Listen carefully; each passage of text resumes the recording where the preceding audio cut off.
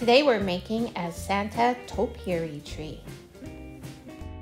Just need three or four ornamental balls and a base. In this case, we're going to use an old tuna can and cover it in felt. I like to reuse anything I can, so in this case, we're using a tuna can. So it measures one and a quarter inch wide. I'm just cutting the felt to cover the base of the can. By using this tuna can, uh, it saves you money. You don't have to buy a base for your topiary tree. And I just feel good keeping one thing out of landfill. Well, it was pretty easy to do, just gluing on the felt, and there you have it. Your base is done. So I picked out all red balls in varying styles and I'm just using the largest one as my base.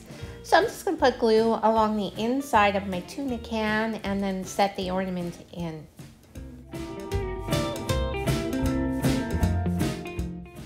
So next I found this really pretty velvet red ball. I'm like, oh, that's so pretty. And that's what inspired me to make a Santa topiary was actually that ball. And I'm like, oh, that's so pretty, but I need to cut the end off. So I just used some plastic snips. Oh, whoops, got away from me, but uh, it did eventually snip off the end. It wasn't even that hard. And I had these red uh, ornament balls. They were just leftovers from another project. So I'd like to utilize any leftovers I can. So I just cut the end off of this one as well. I'm going to make a Santa hat. I want to jazz up the Santa ornament that's on top. So I'm just going in and out a running stitch along the top just so I can gather in the top of the hat. And the, the little Santa hat that was on the ornament was kind of orange and I wanted it red. So uh, I just thought I would put a better hat on him. So I'm just putting glue all the way around and then I will slowly just press the felt um, right onto the glue and just carefully fit it in so I don't cover up the white.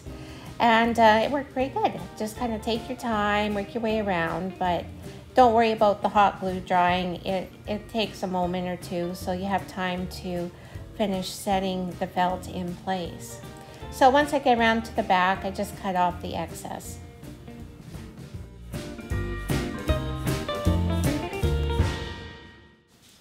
So I just cut a little piece off the uh, snow blanket I have left over from other projects and Basically, I'm just gonna stick it in the top, add a little dab of glue so it stays in place.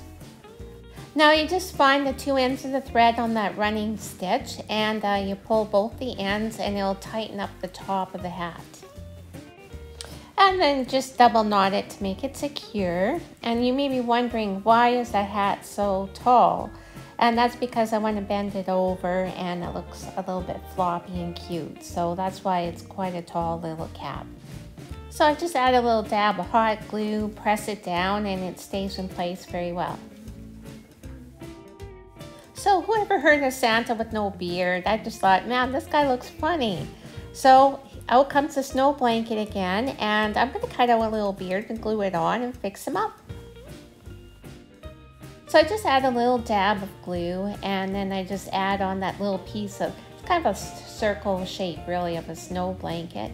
Stick it on and you know if you don't like the shape of it just trim it up with the scissor after. I just left mine the way it was I thought well it looks pretty realistic to me. So there we have a little beard. So I asked Robert to help me out here. I have a real hard time centering balls. I know I'm kind of like sight impaired or something I don't know but uh, I guess he's my center anyway he's just gluing those balls on to make sure that the, they are straight and centered for me so um, first we're adding on just in sequence of their size, so the velvet one, and then this pretty little sparkly one. So the, for this project, all you need is hot glue, and you don't need any dowel running down to the center. Hot glue is all you need. In fact, you could probably get away with regular glue and just glue up uh, your ornaments yourself. So this is a super easy project. Anyone can do it. And look at that, isn't he cute? This project is super easy. I hope you give it a try.